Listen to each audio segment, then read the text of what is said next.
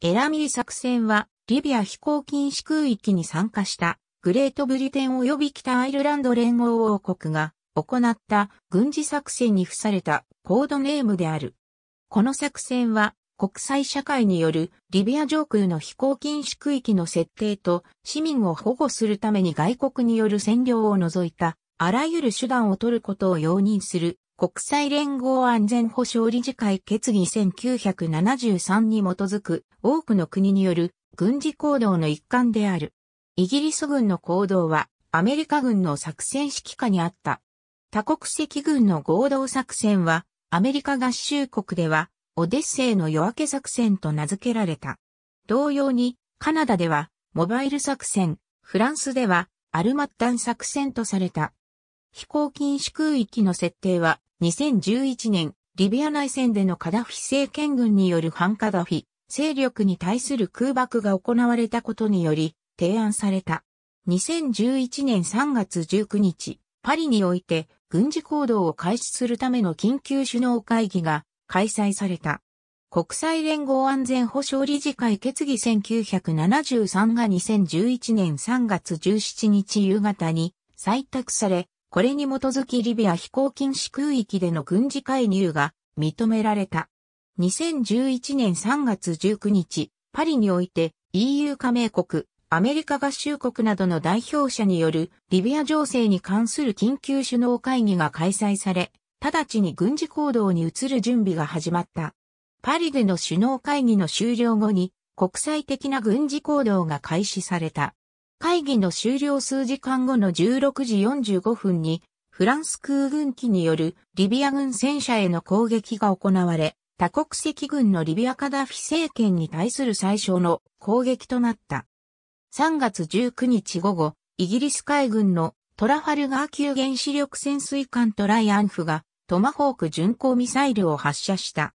アメリカ軍と合わせてこの日110発以上の巡航ミサイルが発射されたと、アメリカ合衆国から発表された。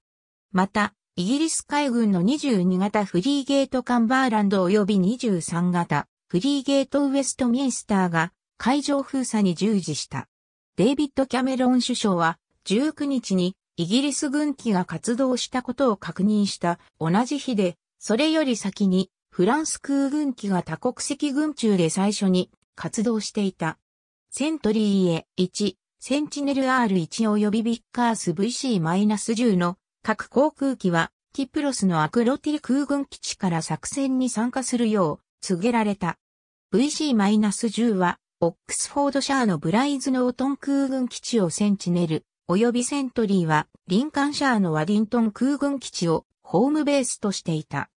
2011年3月19から20日の夜にトーネードグレーン4はストームシャドウ巡航ミサイルを装備した。第9飛行隊所属のトーネードはマーハム空軍基地から 4800km 離れたリビアへ出撃し、リビアの標的に向けてストームシャドウ巡航ミサイルを発射する任務を行った。トーネードは往路に3回、袋に1回イギリス軍の空中給油を必要とした。そしてこの給油にはトライスター KC1 が当たった。国防省はトーネードとタイフーンをイタリアのジョイア、デルコンで空軍基地に展開させると発表した。トラファルガー級原子力潜水艦トライアンフはトマホーク巡航ミサイルをさらにリビアの目標に対して発射した。マーハム基地から出撃したトーネードグレーン4は攻撃目標の近くに民間人がいるということで攻撃を断念した。3月21日、キャメロン首相は、イギリス下院に対し国連安全保障理事会決議をめぐる議論の開始時に、飛行禁止空域の設定のために、イタリアのジョイア、デルコンレ空軍基地へ、イギリス空軍の対風雲を展開させ出撃させていたと発言した。3機の台風雲は任務を果たし、ジョイア、デルコンレ空軍基地に戻った。ジョイア、デルコで空軍基地に第906遠征航空団司令部が編成され、前線の展開戦力の指揮に当たることとなった。アクロティ空軍基地に第907遠征航空団司令部が編成され、同じく前線の展開戦力の指揮に当たることとなった。また、C-17A グローブマスター及び C-130 ハーキュリーズ輸送機が戦力の展開を支援するために使用された。マーラム基地のトーネードグレーン4が飛行禁止空域の武装偵察任務に出撃している間にイギリス空軍の台風雲は初の戦闘任務に就いた。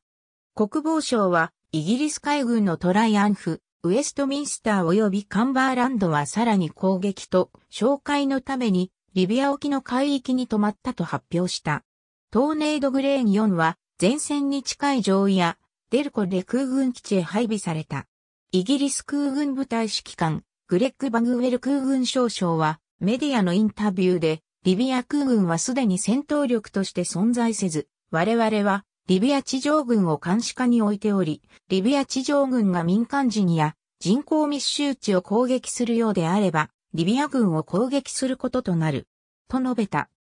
潜水艦トライアンフから再びトマホーク、巡航ミサイルが発射された。武装偵察任務についていたブリムストーン対戦車ミサイルを装備したイギリス空軍のトーネードはアジュダービアーで走行車両が民間人に対し攻撃を行っていると報告を受け、これを攻撃した。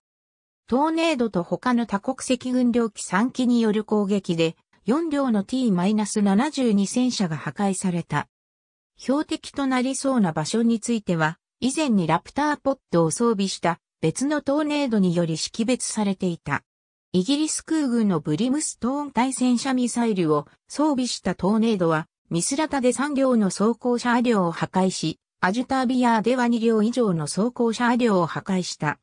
週末の間、上位やデルコで空軍基地から手術の武器を搭載したトーネードは武装偵察の任務をこなし、その間、アジュタービアー及びミスラタ近郊で合計22両の戦車、装甲車両及び大砲に武器を命中させた。マーハム空軍基地から出撃したトーネードは、ブライズノートン空軍基地のトライスター空中給油機の支援を受け、搭載したストームシャドウ巡航ミサイルで、リビア南部砂漠地帯のサブハー地域にある、ブンカーとなっている、弾薬庫を攻撃した。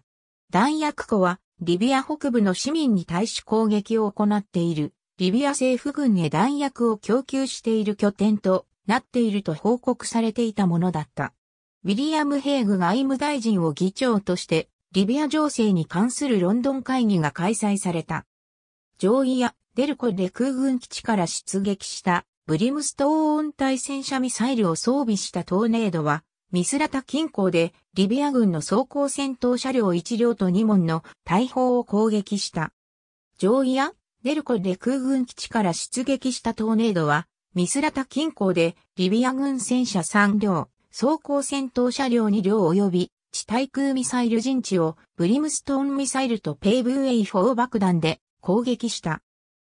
カンバーランドと交代にリバプールが派遣された。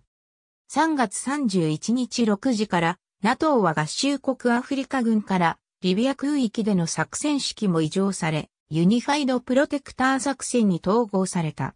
ペーブウェイ4爆弾を装備したイギリス空軍トーネードはカッツァーフィー派軍に対して攻撃を行った。この攻撃により、スルトで主力戦車2両とミスラタ近郊の飛行場で小型の対地攻撃機数機を破壊したと報告された。ペーブウ違法爆弾とブリムストーン対戦車ミサイルを装備したトーネードが、スルト南方で重量の戦闘装甲車両を攻撃しこれを破壊したと報告された。マーハム空軍基地からエラミー作戦に投入されたトーネードの機数は4月4日までに8機から12機に増加した。トーネードはスルトに対して2つ別々の攻撃を行い、ブリムストーン対戦車ミサイル3発で主力戦車1両と2機の地対空ミサイルランチャーを破壊した。トーネードのペーブウェイ4爆弾とブリムストーン対戦車ミサイルにより、アジュダービアーで2両、ミスラタで5両、合計7両の戦車が破壊された。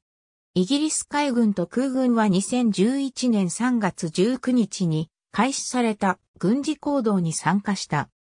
エラミー作戦で使用されている軍艦及び潜水艦ウエストミンスター海 -237 カンバーランド海 -85 トライアンフ S-93 エラミー作戦で使用されている。マルチロールキトーネードグレーン4台風海にエラミー作戦で使用されている。偵察機セントリーへ1レーセオンセンチネル R1 ニムロッド R1 エラミー作戦で使用されている。空中給油機及び輸送機トライスター KC1 ビッカース VC-10C-17A ありがとうございます。